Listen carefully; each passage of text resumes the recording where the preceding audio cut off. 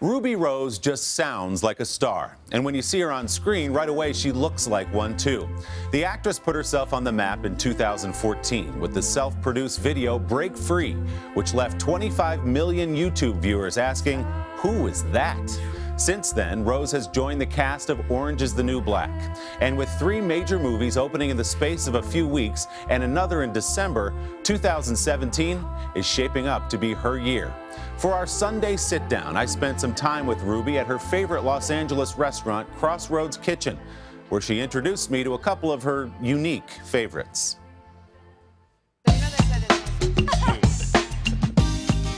Yes. So this is the Impossible? The Impossible Burger. Impossible because it's never on the menu, or you can't get Feels it? a bit like that, yeah. But because it tastes impossibly close to a real hamburger without any animals in it. This I ordered on your recommendation, and I have no idea what I'm about to I know, try. and now neither do I. But I don't think I've ever had it. But it, I think there's charcoal in, in this because it's so dark, which means we better not smile a lot. Should we give it a try? Let's give it a try. Cheers. Impossible burgers and charcoal may be the secrets of her success, but big, broad talent doesn't hurt either. With three franchise films opening within a month of each other, Ruby Rose is about to become a household name. So, so we are truffle. embarking on an incredible year for you right now. Yeah. Does this feel like a big moment for you in your career? It does. Last year felt like the year where I just worked back to back solidly, that I couldn't really catch up on what I'd just done or how, how far I'd come. And this year is when everything kind of comes out and everyone can judge me on a really public level. it's very exciting. The 30 year old Rose was born to a single mother. The two moved frequently throughout Ruby's childhood and struggled financially. At one point, Ruby even joined a church choir just so she and her mother could live in the parish. Were you even aware that it was a struggle, or was it all you knew so it felt Mm. normal? I knew it was a struggle. I, it was very, for a kid, I was in survival mode, I think, for a lot of it. Um, and I didn't get the, the normal, you know, kid things. I didn't work that out till mu- much later. When I went to high school, I realized then that maybe my upbringing was slightly different. But, you know, I did always know that things were tough, you know, things were definitely tough. You came out to your mom when you were 12 years old. I did. That was, that was a fine thing to do, though. Like, when I told her, she was like, I know. Oh, really? Yeah, she knew when I was six, apparently. Really? I was like, really, mom? I don't think I even knew it. I don't know if that's possible, but apparently it is and makes sense. Were you worried about telling her at 12 years old?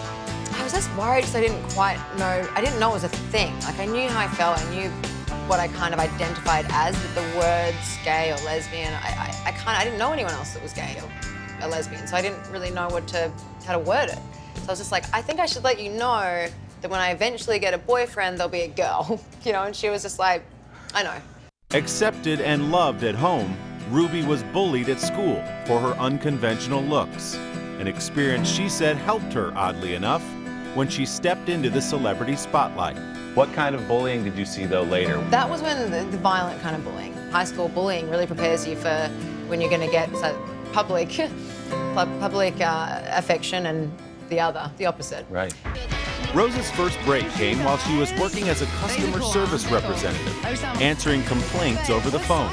She had entered a contest to be a host on MTV Australia and got a phone call at work that she'd won. Joining me now is Jessie J. She also DJ'd to make extra money. Eventually, though, Rose set her sights on being an actress in America.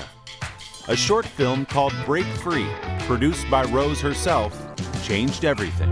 How does it happen? Over the course of the five minute video, Rose, who describes herself as gender fluid, transforms from a traditionally feminine woman into a traditional man. Break Free was Ruby's way of telling the world who she is. And what was the message you were trying to send when you made that video? The message that I wanted to sort of explain to my fans, which is who I was sort of doing it for, was why I dress the way that I dress or why I am the way that I am, because I still was getting those questions of, you know, why does she look like a boy? Why doesn't she, you know, she could be so pretty if only she had longer hair and, you know, wore more makeup and, and wore a dress sometimes. And I was like, well, it's it's a bit more complicated than that. So I did that for them. I didn't know I was on the tipping point, but I knew that the world was starting to talk about transgender and, and gender as a whole. And so the fact that it's even gotten 25 million views, that's wild. After that video caught fire, the phone began to ring. Netflix wanted Ruby to audition for the part of inmate Stella Carlin on Orange is the New Black. Dude, tell. Alex, Come on. I'm just trying to hang out with our new friend Justin Bieber. would you like to go speak privately? I can leave. No. So tell me about the phone call when Orange called. I saw the, the subject and it was like, Orange is the new black Ruby Rose. And so coming from my DJ agent, I just assumed it was like a Orange is the new black tribute party. And Right. they wanted me to DJ and like dress as an inmate or something. You know, I was just like, oh yeah, I'll probably still do it. I just sort of stared at it for a really long time and wrote back and said, you have to be kidding me. Of course I want to audition. How, when, where. And so I did it to try to be professional and did a tape. And uh, when I didn't get a call to go to New York, I sort of thought I'd not gotten it. And then they called and said, actually, we, we love it so much, we, we just want you to be in the show. You don't need to do Right it. then and there. Yeah. Wow. And I was like, great. When, where? They're like, New York, next week, you start. And I was like, oh my goodness, okay, this is happening. I had to move to New York. I've watched all these films. so, I mean, I just, uh, As her star continues to rise, Ruby laughs about being at the center of celebrity culture. So lots been made of you and Taylor Swift being buddies. yeah. How did that always friendship come about? Uh, people like it's an accolade. It's like they, they, they don't want to talk about like you won a SAG award or you did Orange. Like you made it. Your friends are Taylor Swift. You're in the squad. You're in the squad. Like yeah, that is really cool. I mean, she's she's amazing. She's a, one of the best friends that I have. It's very normal. It's actually surprisingly normal how normal she is. And Ruby is in a few on screen squads right now as well, starring in three big budget action movies. There's Resident Evil with Milla Jovovich? I guess I was paying attention after all. John Wick with Keanu Reeves, and Triple X with Vin Diesel. You actually know what you're doing down there. Yeah, that's what she said. I can't even with. I've been really lucky that I've worked with all my heroes throughout these films that I may never need to work again. Uh, but until Meryl, Meryl Streep. But anyway, it is. It literally is cliche, and I sh- just can't. I hope this isn't a soundbite, but it's.